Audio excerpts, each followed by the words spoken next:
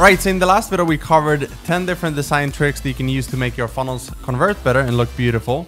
And in this video I'm gonna give you 10 more, but more advanced examples and kind of some of the things that maybe you wouldn't think of otherwise. And so this one, for example, we're just gonna start here. Again, I have a list of 10 different things. We're gonna start here because you can see what I've done here. I've just cloned this section and I have two different images. Now, None of these are limited by size. And as you know, I can go in here and make this smaller, right?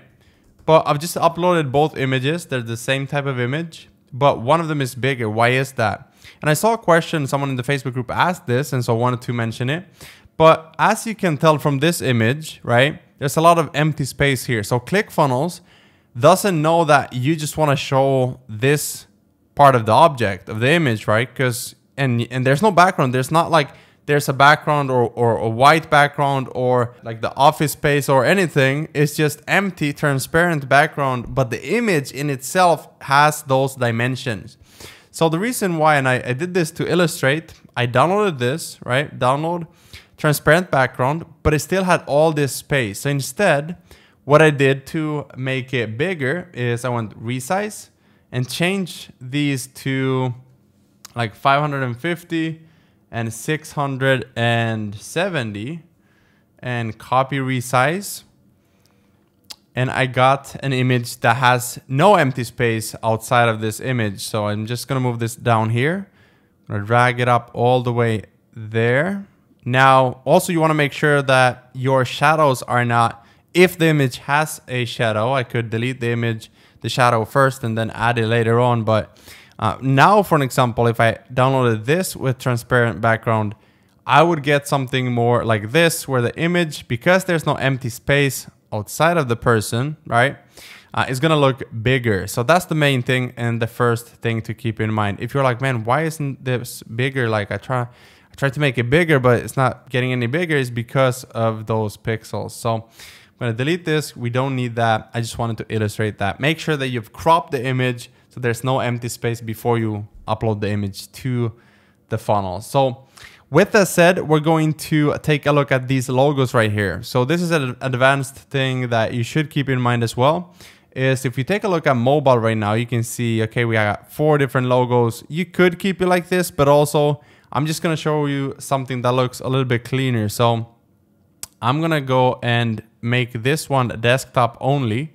And then on mobile, what I'm gonna do is I am going to create a section or a row. So here, for example, one column.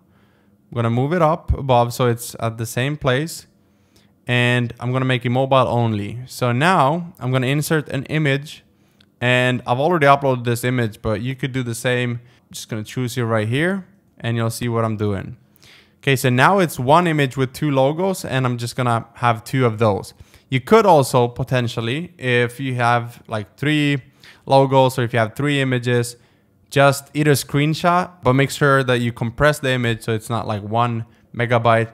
But you could basically take these images in Canva or in Sketch or Figma and group them together as one image so you get it more mobile optimized. So now it looks way cleaner instead of having four logos just like that. Now, one more thing to realize or to remember when you're building funnels in, in your mobile section. So here, for an example, right, we have headline and image, and image and headline. So in the mobile section, you'll see it just like this. So you have headline and then you have the image down here. So what you could do is make this one mobile only, move it up on top of that one, and then this one is desktop because what you want so now these would stay the same, right? But what you want is you want congruency. You want it to look the same, just like that. So that's another thing that you can do for your mobile optimization. And one more thing, I keep saying one more thing, but it's a lot of different, it's 10 different things. So this one, for example, when you have images like this, that they look great on desktop, like this one, for example, if you make it bigger, like if, if you put it in a one column,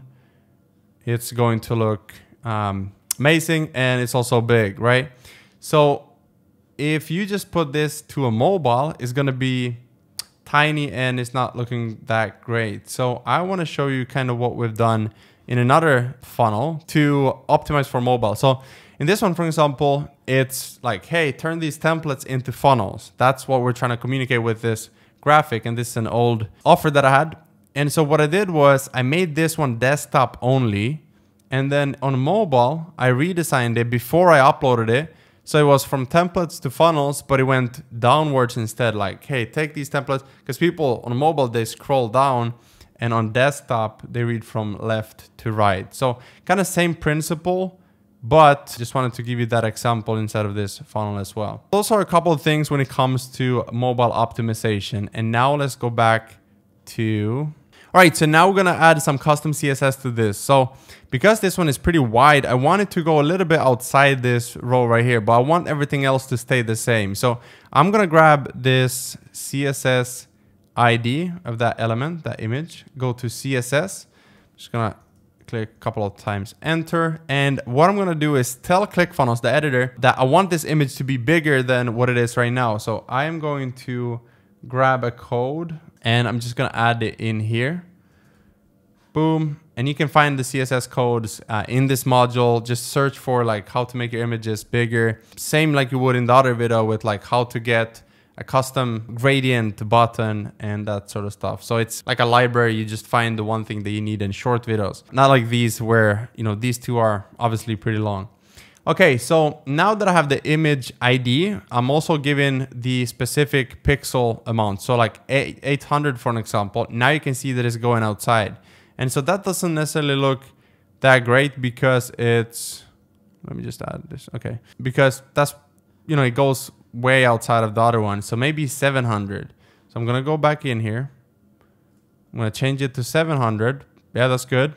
And then you can also see that we have margin left. So basically what we're doing is we're telling ClickFunnels we want it to be a little bit to the left or to the right. So here, for example, if you have if you don't have the minus, you can see that it goes to the right. If you have minus, it goes to the left. So this way you kind of play around with it. And you you don't normally have to use this because we have like the left, center, and right in the editor here by going to advanced. You can align it to wherever.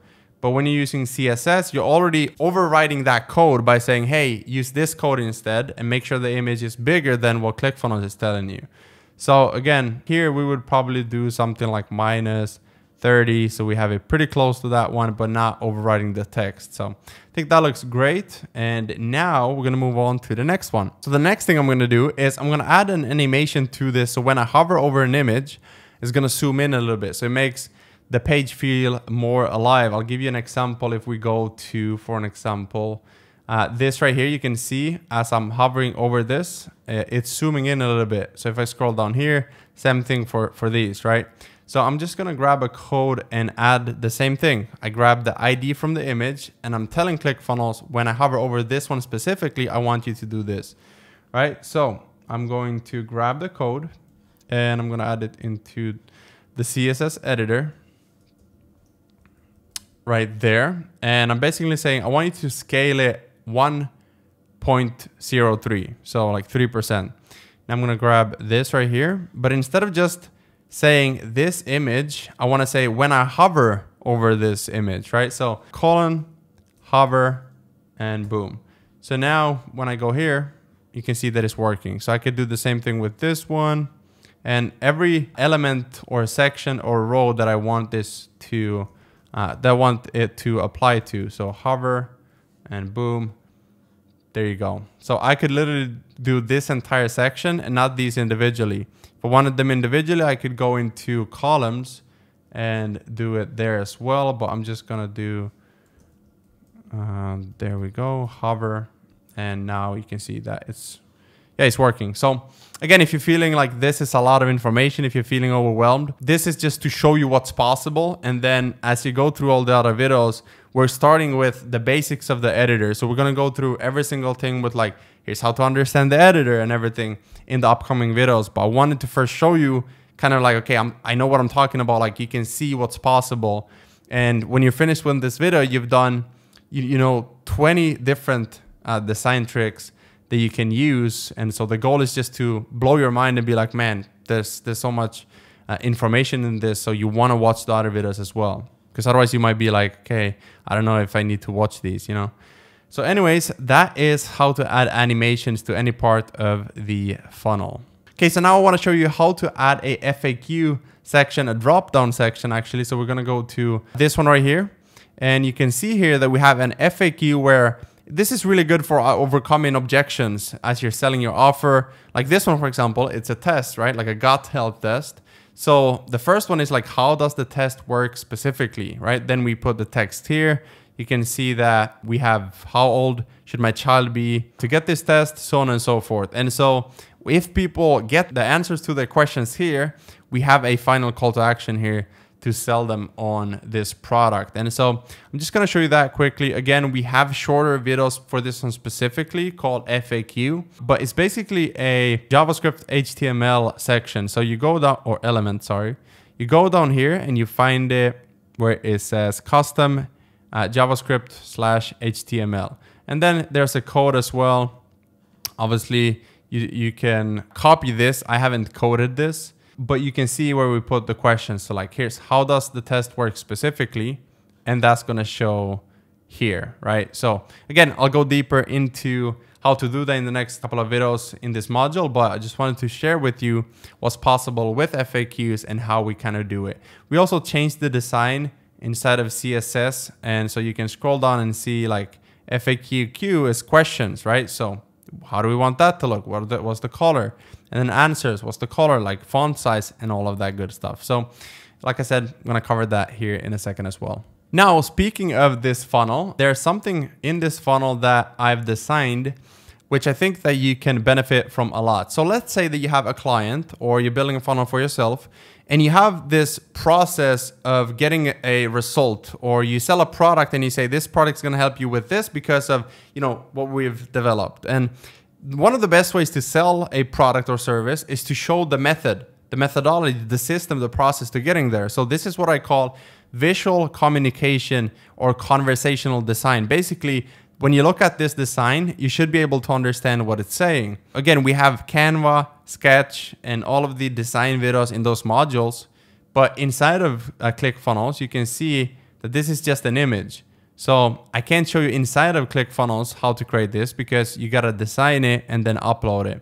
But we have videos showing you how we do design these. You just take a mockup, add it to a circle, actually two circles. You have icons, a line, text element, and basically show people like start to finish, here's how the process works. So prepare for a test, take the test, stir it, shake it, store it, and send for analysis. So that's kind of how I design conversational design. We have another example is grouping images for an example. So this is Pick Booster, which I built this funnel for them uh, years ago. And I kind of wanted to show the first impression of like, here's what we do with one image. So you can see product photos that increases click-through rates and conversion rates. Then we have like five different or four different examples immediately saying like, this is what we've shot. So now they can go down and they can read more. You can see that we continue that by showing before and after. So again, I've grouped together different images that speaks directly, even if you just looked at it and you saw before and after, okay? You know, empty images, says nothing to beautiful images that gets more click-through rate. So that's kind of how I, I think about conversational uh, design. Same thing here, like it's a process, right? First you order, then you track the progress of your order, and then you can launch your product with the images, and then you scale. So it's, it's logical selling. It's not this big outcome, meaning emotional selling and being relatable. It's more like this process, this logical explanation of how you're selling something. So hopefully that makes sense. Okay, so moving on, let's say that I wanted to take these three columns, right? And I wanted to make them overflow on top of another section for an example, just like I've done here. So you can see I've also added the animations here. But basically here, I've added a shadow behind the columns. So not the row, not the row here, but the columns. So we have three different ones. And then just made the design look a little bit more professional by basically moving them on top of the other one so that when you scroll down, you see it immediately and makes you stop scrolling because it, it's, it has like some contrast to it which is why you can also see like why we go from a lighter background to a darker at times because of contrast. You want a lot of contrast. You can see where we have super dark background with a super light text. It's not that they look almost identical, a lot of contrast so that you always keep your attention on the page. And so how do you do this? Well, you just go to settings and you put a minus to the top margin. So if I change this to minus 50, you can see it goes down. Minus 90, goes up. And so you want to have the right spacing. And then you just go in here, you just go and kind of play around to make sure that you also get some spacing right there between these two, the headline and these three sections. But they're all together. This is talking about these sections that are coming up. You could do the same thing. Let's say that you wanted to use this one instead. You could do the same thing here where you just grab this image and you put like 90. Now this one goes on top of this one and it just makes the entire design look a little bit better. So final thing for these 10 different design tricks advanced version is something that you would have to combine in Pixelmator or another software where you can design images, remove some of the backgrounds, but not entirely sort of fading into the background. And the best way to show that would probably be if I go to this one for an example. So you can see here, Justin, we have the animation here, we have a mockup, and we have parts of the background still there. So same thing here. It just kind of makes it more personalized when you have the environment there a little bit, but not also entirely uh, taken away from the focus of what you're trying to say. So here you can see we've added real estate coach and mentor, hundreds of clients worldwide. So building credibility and authority again in the image, right? So if you go up here, 29 profitable rental units and 20 years of experience right? So we have the all in an image saying, this is who it is, here's the results, and here's what we're all about, right? This video right here with a play button kind of goes hand in hand with this that says free training. So when you combine these things, and that's pretty much it for, for this video, but when you combine these things and you always look for things to improve, and you spend time mastering your craft and you spend time sort of taking it from a funnel that looks like a template to a beautifully crafted a funnel that you spent a lot of time on and making it super custom to yourself, your brand, to your offers, or to a client's brand, to a client's offer, you make them stand out or you make yourself stand out. And it's so worth it by building beautiful funnels. Maybe you don't need like a hundred different funnels in your portfolio to show that you're able to build beautiful funnels. Use these strategies, these tactics, these tricks to enhance your funnels that you currently have. And what's your conversion rates go up? What's your brand trust rate, if that's a word? Basically, getting people to trust you more uh, go up, and overall, just have a more professional and beautiful branding and design to your business. So hopefully this was helpful. And now we're gonna go into the next video talking about the editor, understanding everything step by step. And you know, if you're a expert already, you can skip the next uh, couple of videos or sort of skim through them and see if they're for you. But we're gonna go from start to finish. Make sure that you master the entire platform, not only ClickFunnels, but conversion design, conversion psychology, human behavior, all of that good stuff. So all right, I'll see you in the next video. If you have any questions, drop them in the Facebook group.